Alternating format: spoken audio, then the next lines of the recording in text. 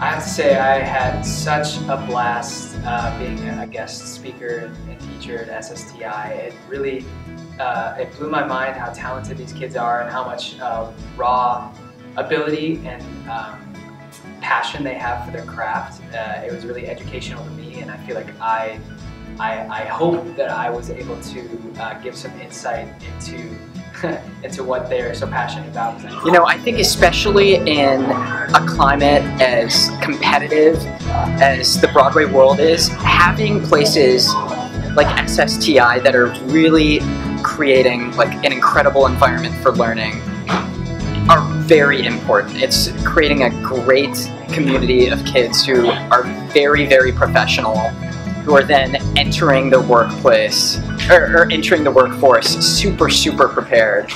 I had so much fun working with SSTI today. The kids were unbelievably talented and showed so much promise. You could tell that each and every one of them really loved doing this for a living. They came very prepared and um, I think we learned a lot too. They were hungry to learn and they're coming from all over the country, which is astounding to me. The program seems to provide such um, great access for everyone to get to be involved in a really special and unique way. And they already were bonding with each other, which I think is so special, um, creating those unique friendships because they all love what they're doing and they're all here for the right reasons. But um, I think it's it's so important for kids to have a place like this to go to when they're figuring out who they are and how uh, and how they want to be artists and how their art shapes uh, shapes their lives and how it shapes other people's lives, their friends' lives. Everyone was so incredibly nice. These kids are insanely talented, and I felt so lucky to get to work with a new generation of kids. Kids uh, learning their craft and, and, learning their passions at, a young age because I think it's.